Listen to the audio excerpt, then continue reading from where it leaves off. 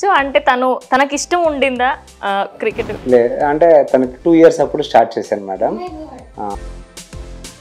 So Trisha ఎలా feel అవుతున్నారు?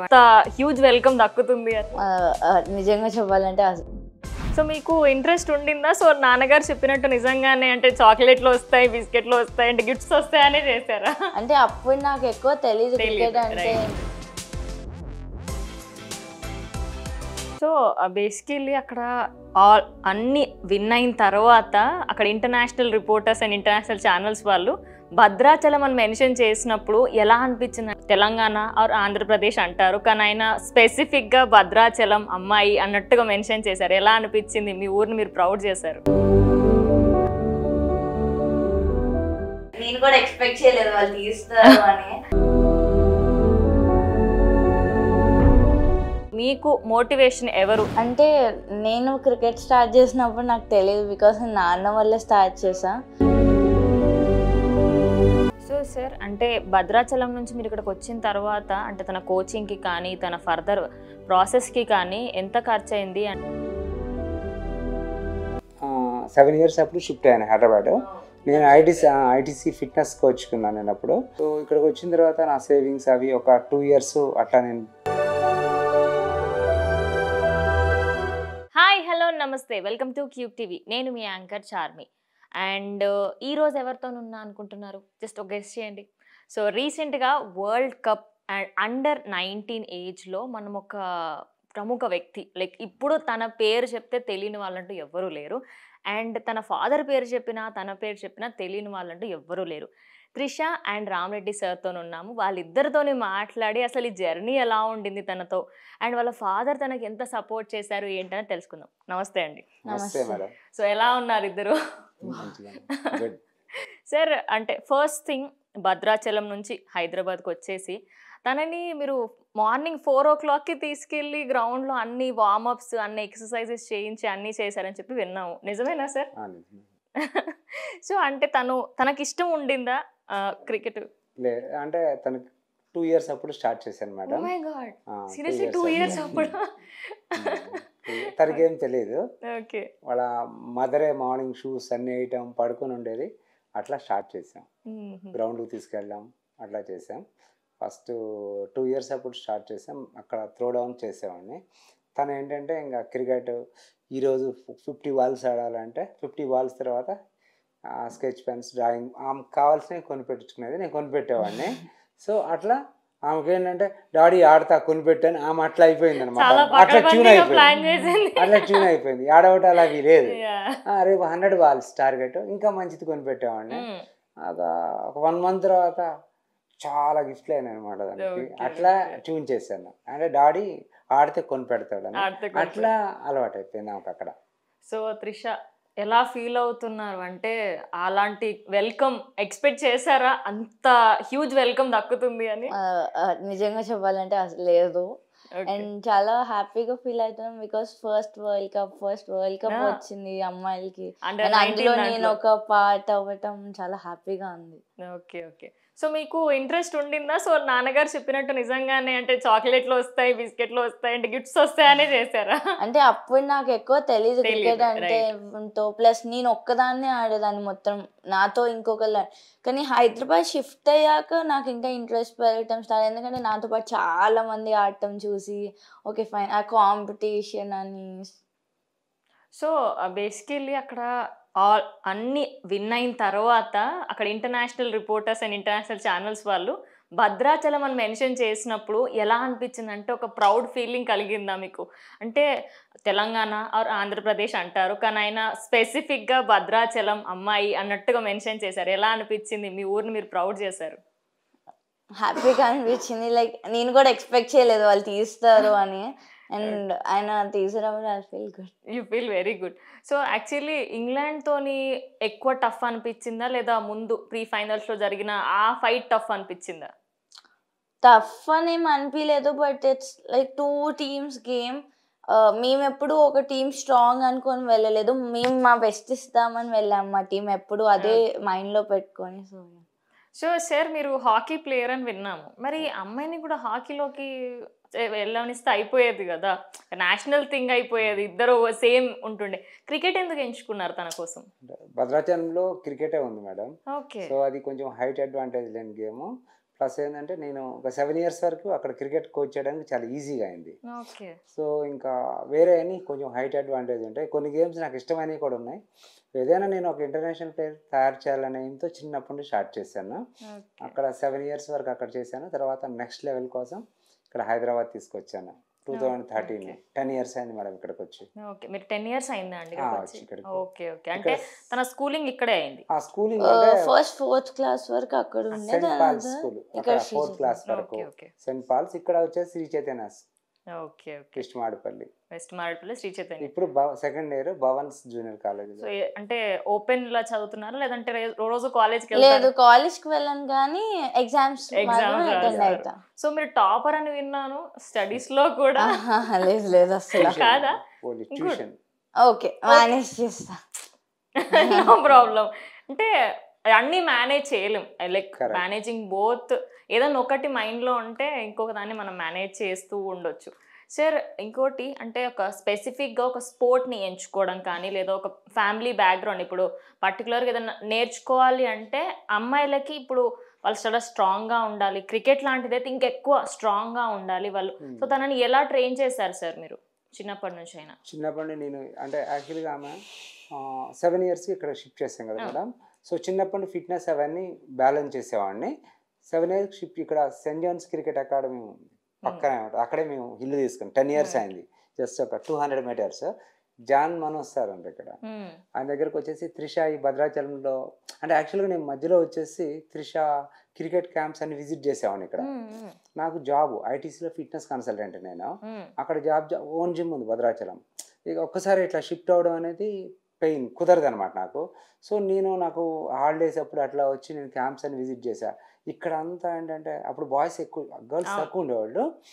అందరూ ఈ చిన్న పిల్లలు six years seven years eight years group అంతా మ్యాచెస్ ఆడటం కోచింగ్ ఇదంతా మంచిగా ఉంది ఇక్కడ.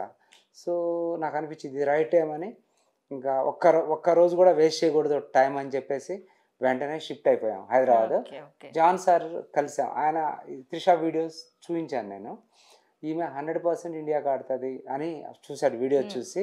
కొన్ని ఎర్రర్స్ ఉన్నాయి అని కరెక్ట్ చేద్దాం. అంటే మేము షిఫ్ట్ అయిపోయాం ఇంకా. కోచ్ శ్రీనివాస్ అని అతను పెట్టాడు. అతను చాలా కొంచెం హెల్ప్ చేశాడు. అతనే. కోచ్గా ఉన్నాడు త్రిషకి ఫస్ట్ అతను కొంచెం అన్ని బేసిక్స్ అన్ని కరెక్ట్ చేశాడు. అట్లా ఎయిట్ ఇయర్స్కి ఆమె అండర్ సిక్స్టీన్ స్టేట్ మ్యాచ్ ఆడింది.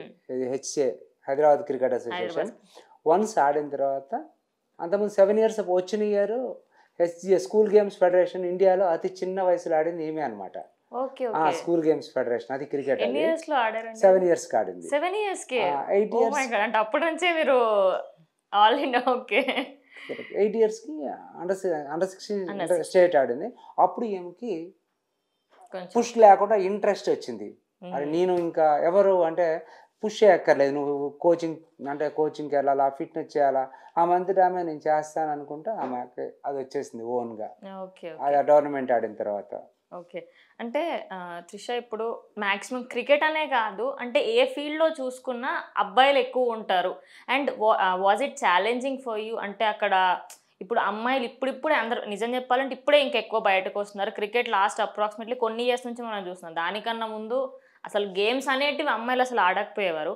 సో మీకు మోటివేషన్ ఎవరు? ఇలా ఈ గేమ్స్ గురించి వెళ్ళాలి అంటే క్రికెట్ సైడ్ వెళ్ళాలి అనే మోటివేషన్ ఎవరు ఇచ్చారు మీకు? అంటే నేను క్రికెట్ స్టార్ట్ చేసినప్పుడు నాకు తెలియదు బికాస్ నాన్న వల్ల స్టార్ట్ చేసా బట్ లేటర్ ఆన్ ఇక్కడికి వచ్చాక కొంచెం మోటివేషన్ గర్ల్స్ అంటే మితాలి రాజ్ బికాస్. ఆమె లెజెండరీ ఉమెన్స్ క్రికెట్కి. సో ఆమె మోటివేషన్ కింద ఆమె మోటివేషన్ కింద తీసుకుంటారు. సో మీ ఫేవరెట్ క్రికెటర్ ఎవరు? ఫేవరెట్ క్రికెటర్ మితాలి రాజ్ ఇంకా MS Dhoni. MS Dhoni. So MS ధోనిని కలిసారా? లేదు ఇప్పటి వరకు ఛాన్స్ సో కలిసినప్పుడు ఫస్ట్ క్వశ్చన్ ఏం అడుగుతారు? అది బ్లాంక్ షాక్లో ఉంటా షాక్ ఫస్ట్లో yeah obviously the fan moment will like oh my god ఏమి ఏమి రావు. రైట్ రైట్ సో అంటే బేసిక్గా మీరు స్టడీస్ అవన్నీ మేనేజ్ చేసుకుంటూ ఇది చేస్తున్నారు కదా. అంటే ఫస్ట్ ఇప్పుడు ఎప్పుడైతే ఇక్కడ ఇక్కడ ఆడింది వేరే ఉంటుంది.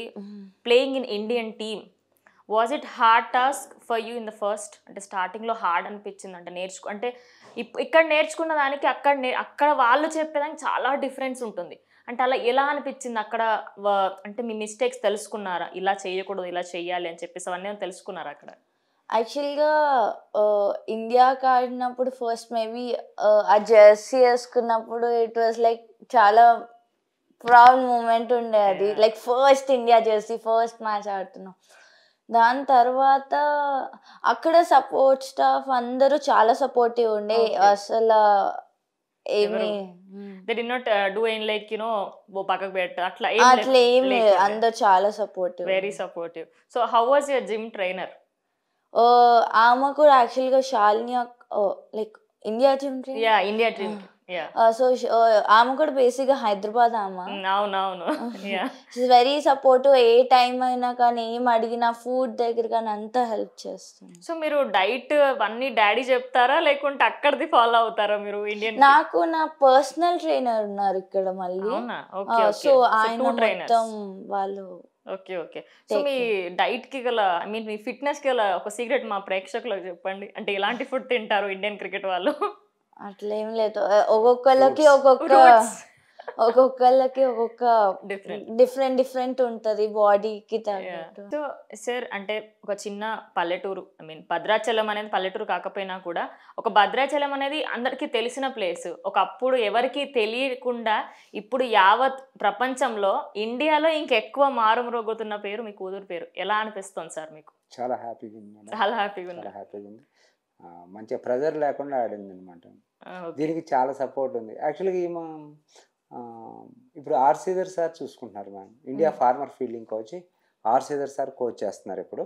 మధ్యలో ఇక్బాల్ క్రికెట్ అకాడమీకి వెళ్ళింది. స్పెషల్ నాకింగ్ కోసం. వాళ్ళు కూడా చాలా సపోర్ట్ చేశారు. ఇక్బాల్ కోచ్ ఇక్బాల్ ప్లస్ తర్వాత కరోనా టైంలో చాముండేశ్వరనాథ్ Hmm. ఆయన కూడా వన్ ఇయర్ వెళ్ళాం అనమాట అక్కడికి లీ అని మిడిల్ సెక్స్ హెడ్ కోచ్ వీళ్ళంతా ఫారిన్ కోచ్ వచ్చారు. ఆయన చాలా వన్ ఇయర్ మంచిగా సపోర్ట్ చేశాడు.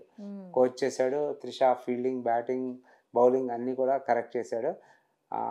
ఇట్లా వీళ్ళంతా పెద్ద కోచెస్ సపోర్ట్ చేయటం వలన ప్లస్ ఇంకోటి ఏంటంటే ఆమె థర్టీన్ ఇయర్స్కే ఇండియా ఛాలెంజర్స్ ఆడింది. ఇండియా. ఛాలెంజర్స్ అంటే త్రీ టీమ్స్ సెలెక్ట్ చేస్తారు. ఇండియా బ్లూ గ్రీన్ రెడ్ అని. దీంట్లో India top thirty nine members ఉంటారన్నమాట. దాంట్లో త్రిష అప్పుడే సెలెక్ట్ అయింది అనమాట థర్టీన్. ఇయర్స్కి. తర్వాత ఇండియా అండర్ నైన్టీన్ ఛాలెంజర్స్ ఇప్పుడు ఇప్పటికి టూ ఎన్సీఏ త్రీ టైమ్స్ చేసింది. ఇవన్నీ చేయడం వల్ల ఆమెకి ఈ నైన్టీన్ మ్యాచెస్ ప్రెజర్ లేకుండా చాలా ఈజీ అయిపోయింది మేడం. అందుకే ఆమె ఆ ప్రెజర్ని తట్టుకొని మంచి ఫైనల్లో కానీ అంతకుముందు మ్యాచెస్లో కానీ చాలా ఈజీగా హ్యాండిల్ చేసింది. సో మీరు నెక్స్ట్ క్యాప్టెన్ అని అయితే నేను వింటున్నాను. మరి are you going to be the next captain of Indian team? Maybe hopefully. Hopefully. So అంటే క్యాప్టెన్ వైజ్గా డిఫరెంట్ డిఫరెంట్ ఉంటుంది కదా? Like how they choose the captain అనేది. సో మాక్సిమం ఇక్కడ తెలంగాణ ఆంధ్ర వాళ్ళైతే మీరే క్యాప్టెన్ అవ్వాలని కోరుకుంటున్నారు. మరి వాళ్ళకి ఏం చెప్తారు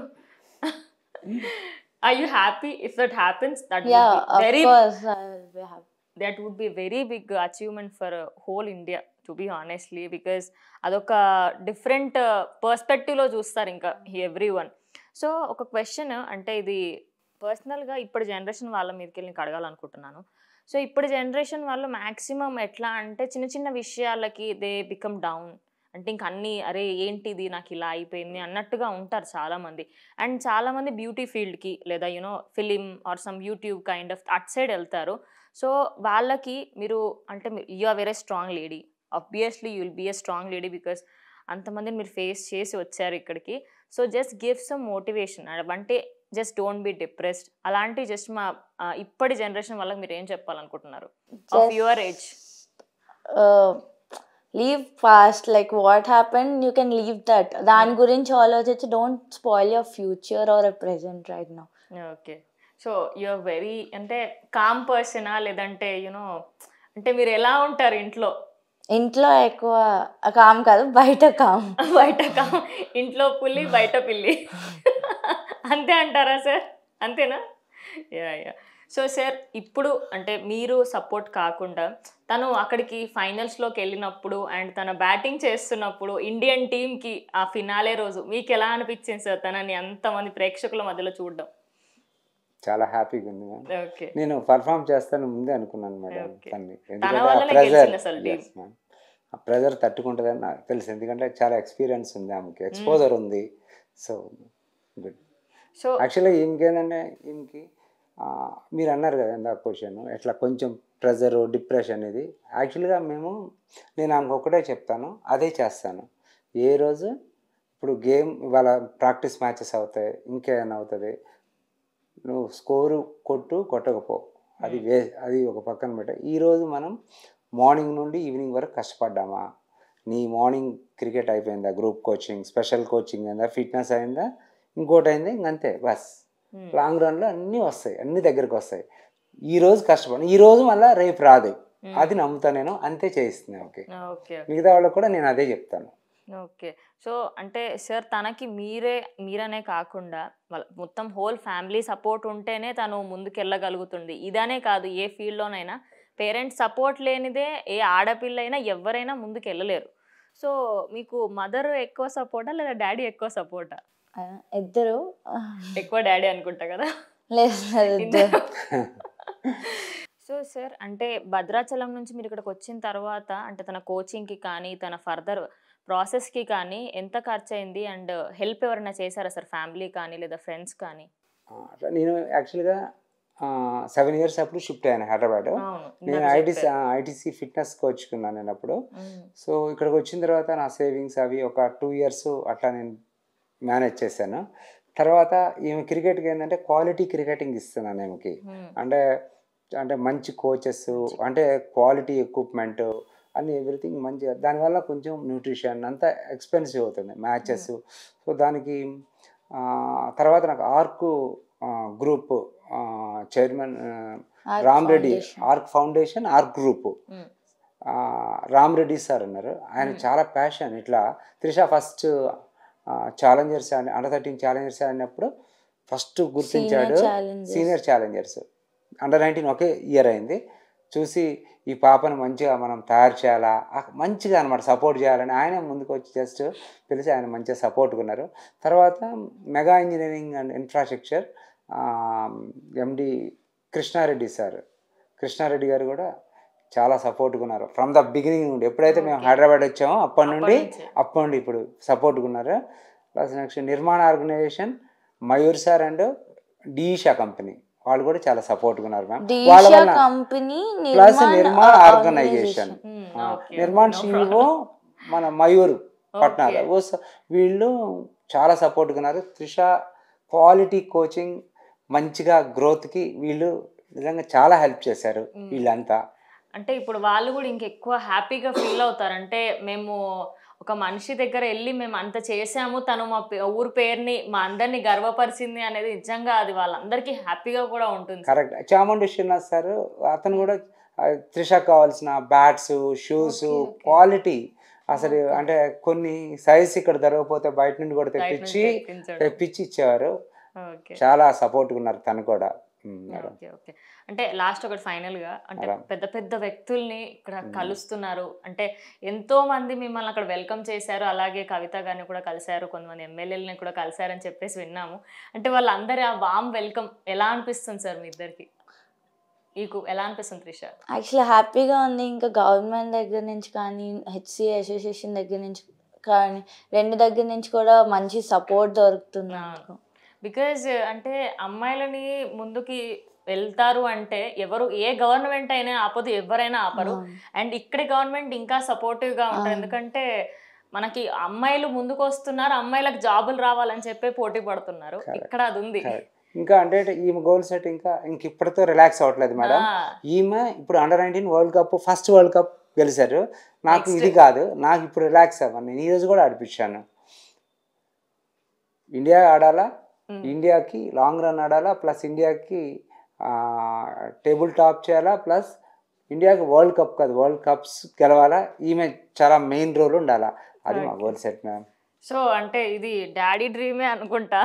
నాకైతే చూస్తుంటే అంటే ఒక అమ్మాయి లేదా ఎవరైనా మా నాన్న చెప్ మా నాన్న కోరిక అది. మా నాన్న ఒకప్పుడు అవ్వాలనుకున్నారు కానీ ఆయన అవ్వలేకపోయారు. ఆయన కోరికను నేను తీరుస్తున్నాను అనేది ఇప్పుడు నేను చూస్తే నా I can really feel that because ఆయన అనుకున్న ఆ డ్రీమ్ని మీరు నిజంగా అది నెరవేర్చారు. So sir thank you so much and thank you so much Trisha for your valuable time because I know అంటే చాలా హెక్టిక్గా ఉండుంటు ఉండుంటుంది మీ ఇద్దరికి. Thank you so much sir thank you so much so చూసారు కదా ఇది ఇవాళ వీడియో. సో ఇంకోసారి ఇంకో వీడియోతో కలుస్తాం. అంటే నేను కీప్ వాచింగ్ క్యూబ్ టీవీ